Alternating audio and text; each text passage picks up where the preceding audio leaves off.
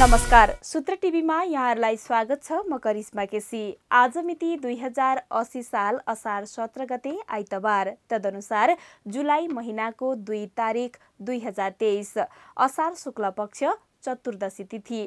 आज बिहान पाँच बजेर एघार मिनट जाँदा काठमाडौँ उपत्यकामा झुल्किएको घाम भरै साँझ सात बजेर तिन मिनटमा अस्ताउनेछ।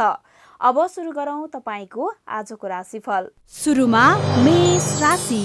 आज मनमा शान्तिको अनुभूति हुनेछ।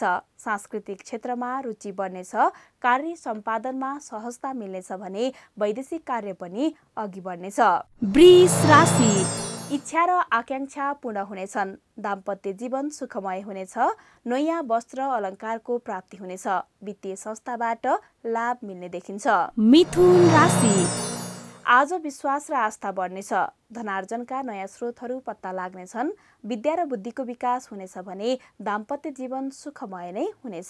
कर्कट राशि। आज मनमा दुविधा उत्पन्न होला। स्वास्थ्य तथा श्रृङ्गारमा धन खर्च हुनेछ। आर्थिक कारोबारमा मन्दी आउनेछ। साँझमा भने धन हात पर्न सक्छ। सिंह राशि। प्रेमीको सहयोग प्राप्त हुनेछ। साहित्यिक क्षेत्रमा रुचि बढ्नेछ चिन्ता छाडेर चिन्तन गर्ने समय रहेको छ। कहीँ कतै भ्रमण गर्ने योजना पनि बन्न सक्छ। कन्या राशि। आज सुखद यात्राको योग रहेको छ। सो विवेकको प्रयोगले कार्य सिद्ध हुन सक्छ वित्तीय संस्थाबाट सहयोग पनि पाइने र दिन सुखद रहनेछ। तुला राशि। दूर दराजमा रहेको स्थान अथवा विदेशबाट राम्रो समाचार प्राप्त हुनेछ। पुराना साथीभाइसँग भेटघाट हुनेछ। सोच्दै नसोचेको धन हात लागि हुन सक्छ वृश्चिक राशि। आज पढाइ लेखाइमा समय दिन नसक्दा अरूभन्दा पछि परिने सम्भावना रहेको छ। व्यवसायमा समय दिए पनि आमदानी गर्न भने मुस्किल पर्नेछ। धनु राशि। धार्मिक कार्यमा मन जानेछ। लामो समयदेखि रोकेका अधुरा कामहरू पूरा हुनेछन् शुभ कार्यको चर्चा चल्नेछ भने साङ्गीतिक क्षेत्रमा रुचि बढ्नेछ। मकर राशि। रोकिएका काम दोहोऱ्याएर गर्दा फाइदा हुनेछ। धनार्जनका नयाँ स्रोतहरू पत्ता लाग्नेछन्। जीवन साथीको सल्लाहमा गरिएको कार्यबाट सफलता मिल्नेछ। कुम्भ राशि।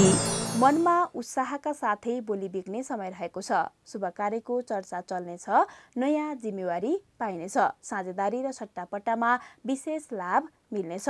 अन्त्यमा मीन राशि। आजको दिन त्यति भर पर्दो रहने छैन। अप्रिय समाचारले दुखी बनाउन सक्छ दैनिक कामकाजमा समस्या पैदा हुन सक्छ। ध्यान दिनुहोला।